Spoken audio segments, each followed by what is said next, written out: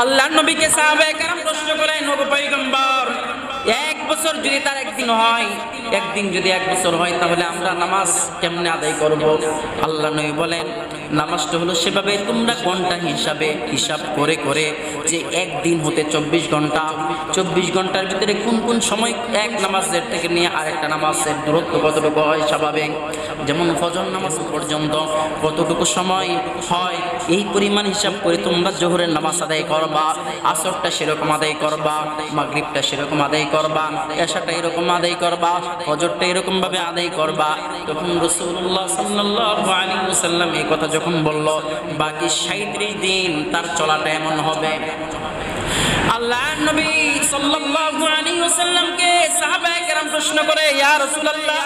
তার চলার গতিটা কেমন হবে? তার পাওয়ার কেমন হবে?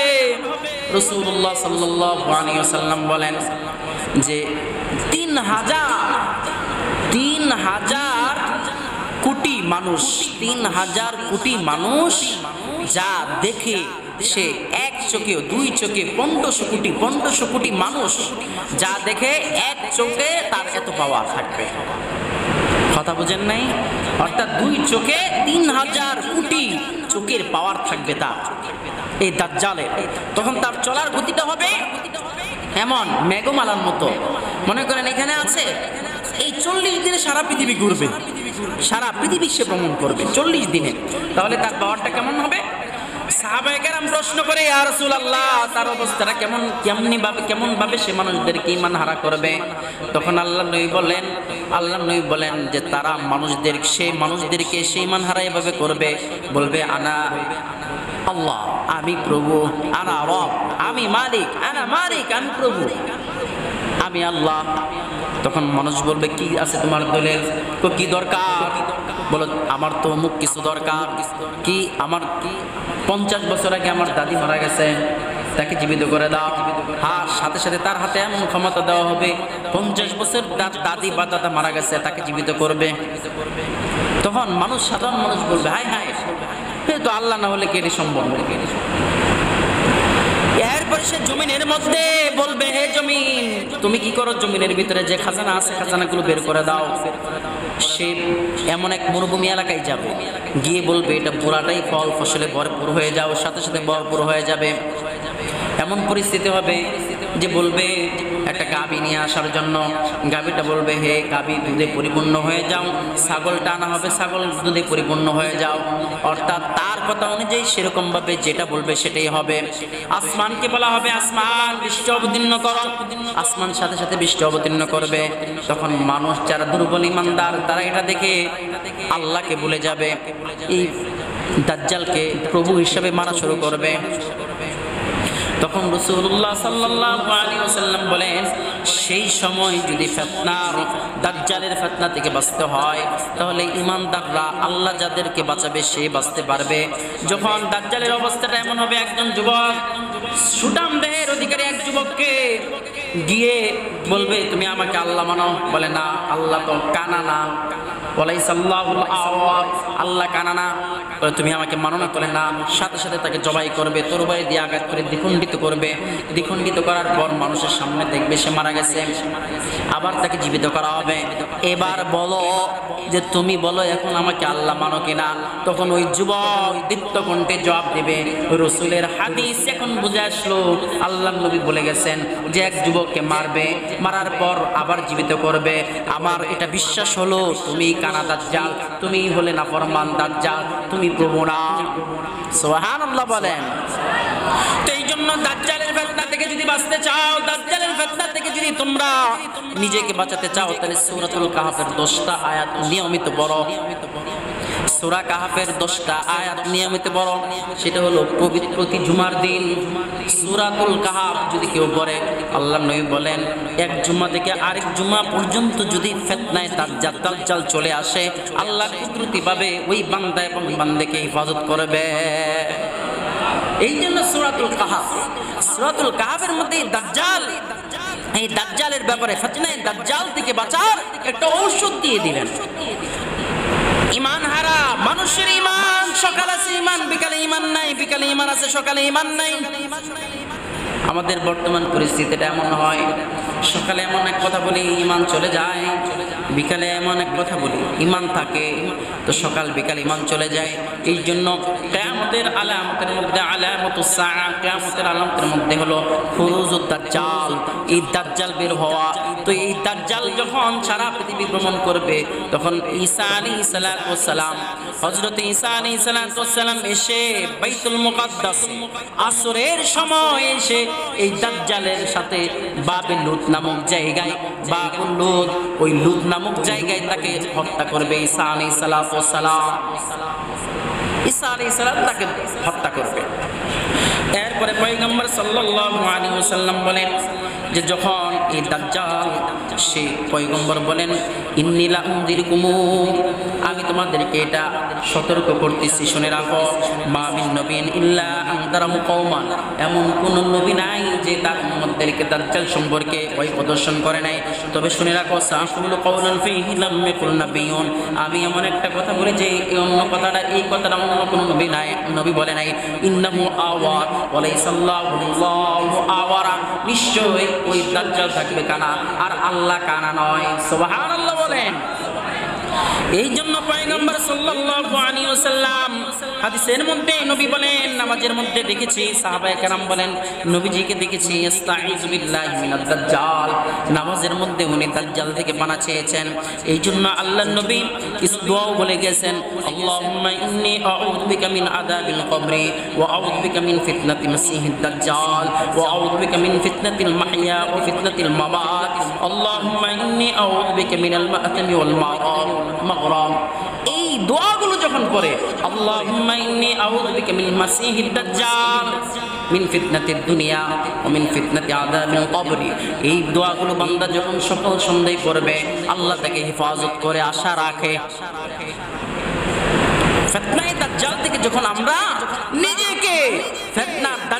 থেকে বাঁচানোর উপায় হলো আলাইহি ওয়াসাল্লামের বাঁচানো যে জিনিসগুলো আছে, এই বাঁচানো জিনিস অনুযায়ী চললেই আল্লাহ নবী সাল্লাল্লাহু আলাইহি ওয়াসাল্লাম যে কথাগুলো বলে গিয়েছেন, সেই কথা অনুযায়ী যদি আমরা আমল করতে পারি, যে সেটা হলো সোরা কাহাব পড়া।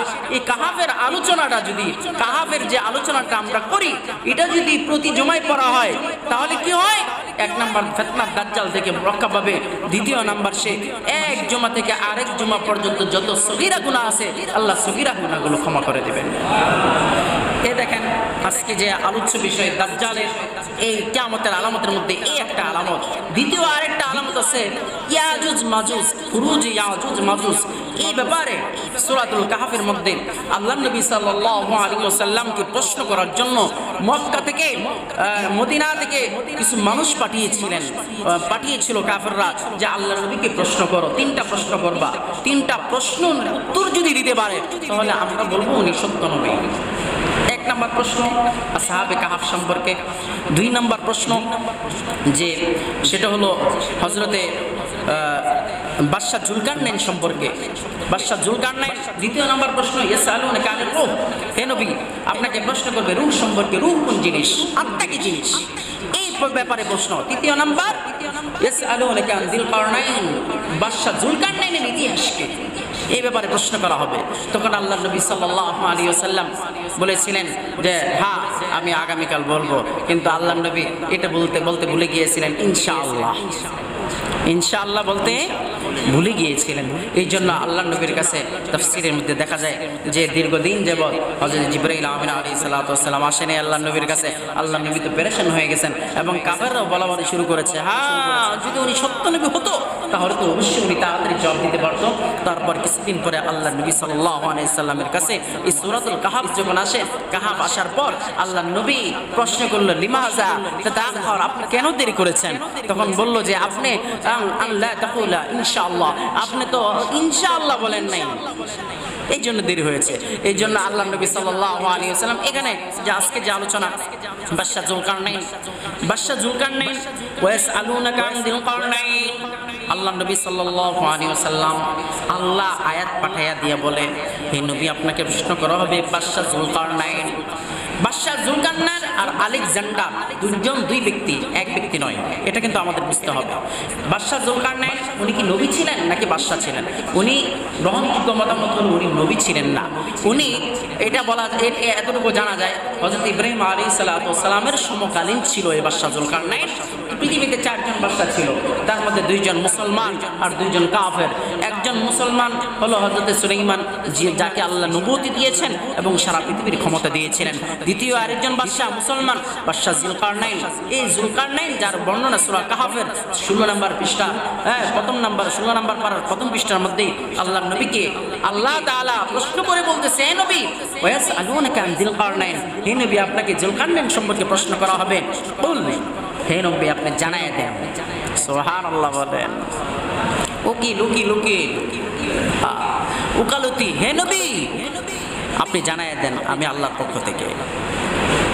আল্লাহ কাকে বলতেছেন? নবীকে বলতেছেন। হে নবী, আপনি জানাই দেন। সাআতলু আলাইকুম মিনহু যিকরা। ও আমি তোমাদের সামনে এই ব্যাপারে আলোচনা করব। সুবহানাল্লাহ বলেন। মাক্কান্না লাহু ফিল আরদি ওয়া আতাইনাহু মিন কুল্লি শাইইন সাবাবা আমি আল্লাহ তাকে ক্ষমতা দিয়েছি পৃথিবীর আমি আল্লাহ তাকে এটাও দিয়েছি সব ধরনের ব্যবস্থাপনা আমি আল্লাহ তাকে দিয়ে দিয়েছি সুবহানাল্লাহ বলেন সে তিন দিকে ফাহাদবা সাবাবা সে কোনো একটা পথ অবলম্বন করলো তার শক্তি প্রয়োগ করলো হাত্তা ইদা বালাগা মাগরিব الشمس وجدها تغرب في عين حمية ووجد عندها قوما বাদশাহ জুলকারনাইন পৃথিবীর একেবারে পশ্চিম প্রান্তে চলে গেছে। একেবারে যেখানে সূর্য ডুবে, গিয়ে দেখে, ওয়াজাদাহা তাগরুবু ফি আইনিন হামিয়াতিন। কাদা মাটির মধ্যে, কাদা মাটির মধ্যে যেরকম ভাবে সূর্য ডুবে, যেরকম যারা সমুদ্র ভ্রমণে যায়, যারা সমুদ্রের কাছে থাকে, যেন সূর্যটা সমুদ্রের ভিতরে ঢুকতেছে। কেউ কুয়াকাটা গেল, কেউ কক্সবাজার গেল বা বিভিন্ন জায়গায় গেল, দেখে সূর্য ঢুকতেছে সেন্ট মার্টিন দ্বীপে গেলে দেখা যায় সূর্যটা যেন একেবারে সমুদ্রে ঢুকতেছে কিন্তু না না, সূর্যটা সমুদ্রে ডুবে না। সূর্যটা কাদামাটি ডুবে না। তিনি গিয়ে দেখলেন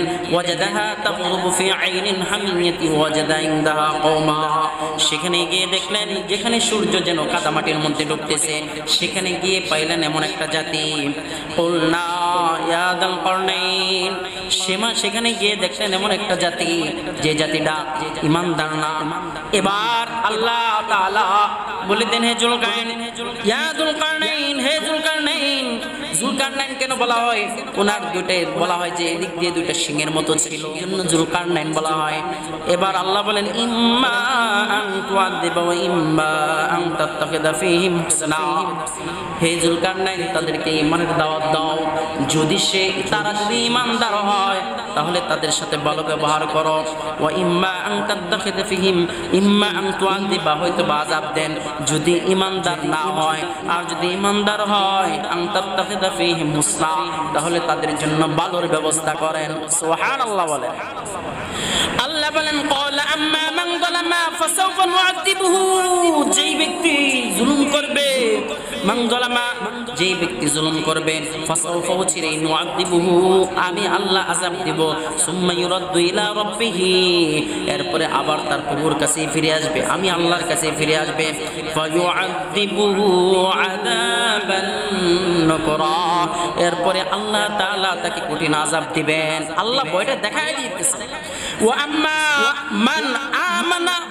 এরপরে যারা ইমানদার ও আমিলা সলিহা, এবং নেক কাজ করে ইমানও আবার নেক কাজ করে ইমানদার আবার নেক কাজ করে ইমান আনছে আল্লাহর প্রতি, রসুলের প্রতি, জান্নাত জাহান্নামের প্রতি, তকদিরের উপর, হাসর, নসরের প্রতি সব কিছুর উপর ইমান আনছে, এখন সে পাঁচ ওয়াক্ত নামাজও পড়ে।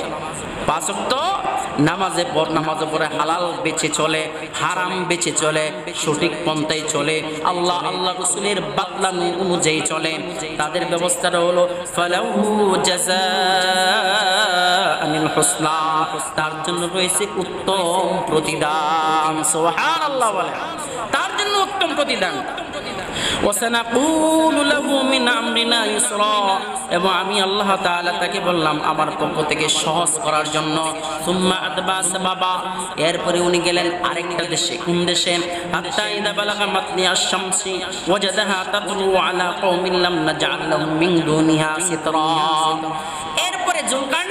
গেছে? পশ্চিমে গিয়েছে প্রথম। তারপরে গিয়েছে পূর্ব দিগন্তে। পূর্ব দিগন্তে গিয়ে দেখে সেখানে একটা জাতি পেয়েছে, কিন্তু সেই জাতিটা ঘর বাড়ি বানাইতে পারে না। আমরা যেমন ঘর বানাইছি, এই বুদ্ধি আল্লাহ আমাদেরকে দিছে। কথা বোঝেন নাই? আরে সাদওয়ালা ঘর বাড়ি বানাইছি সূর্যের আলো থেকে বাঁচার জন্য, সূর্যের তাপ থেকে বাঁচার জন্য। আমরা যে ঘর নির্মাণ করি, সাদওয়ালা বাড়ি বানাই, আল্লাহ তাদেরকে এই জ্ঞান দেয় নাই। এরা গর্তের মধ্যে যায়, এরা গর্তের মধ্যে বসবাস করে। আল্লাহ বলেন, লাম ওই সূর্যের আলো থেকে, সূর্যের তাপ থেকে বাঁচানোর কোনো পদ্মা, পন্থা আমি রাখি নাই। এরপরে বলেন, হাত্তা বিমা আমি এই খবরগুলো জানিয়েছি। আল্লাহ তাআলা বলেন যে ওখান থেকে ওখানে গিয়ে তাদেরকে ইমানের দিলেন। সেখানে ইমানদার যারা, তারা ইমান গ্রহণ করেছে। আর যারা ইমানদার না তাদেরকে হত্যা করে দেওয়া হয়েছে। সুম্মা সাবাবা। এরপরে গেলেন কোথায়? হাত্তা ইদা বালাকা বাইনা সাবতাইনি একটা এলাকায় গেলেন পূর্ব এবং উত্তর দিগন্তে। পূর্ব এবং উত্তর দিগন্তে।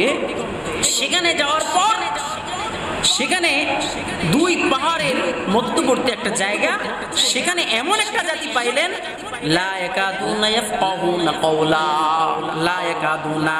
তারা বুঝে না। তারা কোনো কথাই বোঝে না এবং জুলকারনাইন তাদের কথা বোঝে না। জুলকারনাইনও বোঝে না এবং তারাও জুলকারনাইনের কথা বোঝে না।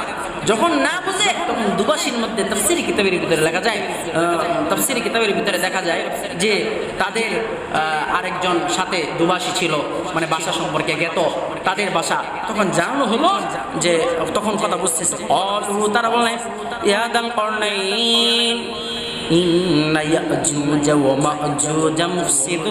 ফিল আরদ। হে বাদশাহ জুলকারনাইন আমরা যে এলাকায় বসবাস করি, ইয়াজুজ মাজুজ নামে দুইটা জাতি আছে। ইয়াজুজ মাজুজ নামে দুইটা জাতি, তারা কি মুফসিদুনা ফিল আরদ, জমিনের মধ্যে ফাসাদ সৃষ্টি করে, আমাদের ঘর বাড়ি নষ্ট করে, মানুষদের উপর জুলুম করে ফাহাল না জানুলাকা ফরজা। তাহলে আমরা টাকা ট্যাক্স উঠে দেই, এই ট্যাক্সগুলো কি করবেন? আল্লাহ আনতা জালা বাইনানা বাইনাহুম সাদ্দা। তাদের মাঝে আর আমাদের মাঝে এমন একটা পাহাড়, এমন একটা বন্ধন সৃষ্টি করে দেন, যাতে আমাদের পর্যন্ত তারা পৌঁছতে না পারে। এবার হজরতে জুলকারনাইন বলে যে, আমাকে আল্লাহ যে ক্ষমতা দিয়েছে, যে টাকা দিয়েছে, তোমাদের ট্যাক্সের দরকার নাই। এখন প্রশ্ন হলো ইয়াজুজ মাজুজের জাতি থেকে আসে ইয়াজুজ মাজুজ আসছে কোত্থেকে? নুহ আলী সালামের ছেলে ছিল। হাম সাম ইয়াফেস। হাম সাম ইয়াফেস। ইয়াফেসের বংশধর হলো ইয়াজুজ মাজুজ ইয়াফেসের বংশধর ইয়াজুজ মাজুজ এদের অবস্থাটা হলো গত জমাও বলেছিলাম যে এরা পৃথিবীতে আল্লাহ নবী সাল্লাহ আলী সাল্লাম হাদিসে বর্ণনা করেন যে আল্লাহ আদম আলী সাল্লাতামকে ডাক দিবেন। আদম আলী সাল্লাতাম কে ডাক দেওয়ার পর বলবে, লাব্বাইক ও হে আল্লাহ, আমি উপস্থিত। তো বলা হবে, ফানাদা বিসৌতিন। আল্লাহ তাকে জুড়ে কণ্ঠ দিয়ে ডাকবেন, ফানাদা বিসৌতিন। বলবেন, লাব্বাইক ইয়া সাদাই হে আল্লাহ, আমি উপস্থিত। হ্যাঁ ওমা বাসুন্না। জাহান্নামী যারা আছে, এদেরকে আলাদা করো। তো বলতেছে, তখন হজরত ইব্রে আদম আলী সাল্লাম বলেন যে ওমা বাসুন্না? জাহান্নামী কারা? তার কাদেরকে? জাহান্নামী কারা? তা কাদেরকে বের করব? তখন আল্লাহ নবী আল্লাহ তাআলা বলবেন, হাদিসে কুদসির মধ্যে আসছে যে, মিন কুল্লি আলফিন তিসুমিয়াতি তিসুন তিসআতু ওয়া তিসঈনা। প্রতি এক হাজারে একজন বের করো। একজন জান্নাতি বারো, নয়শো বা, আর বাকি নয়শো নিরানব্বই জন জাহান্নামী, এদেরকে আলাদা করো। কতজন? আরে, এক হাজারের মধ্যে যদি একজন জান্নাতি হয় থাকে কত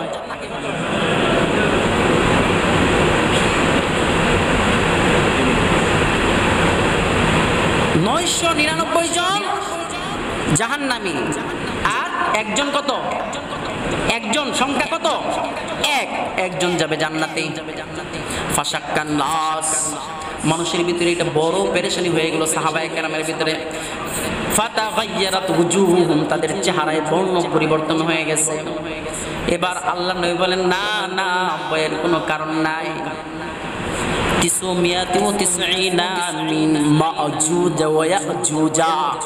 শুনে রাখো সাহাবায়ে কেরাম, শুনে রাখো।